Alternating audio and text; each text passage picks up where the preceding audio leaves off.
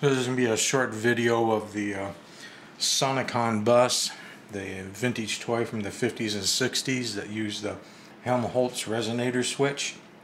There's no electronics inside the toy. By that I mean no uh, ICs or transistors or tubes. It's all electromechanical in uh, sensing the whistle tone. as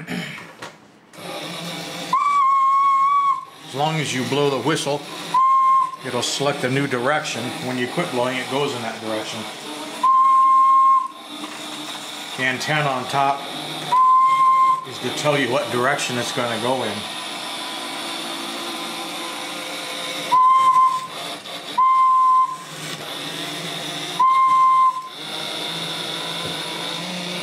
A little bit stuck on this tabletop.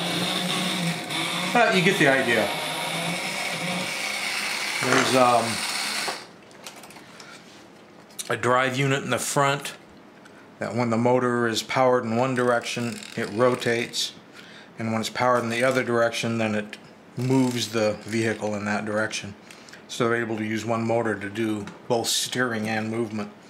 Like I say the antenna is only there so that uh, you know what direction it's going to go in and it only turns as long as you're blowing a whistle.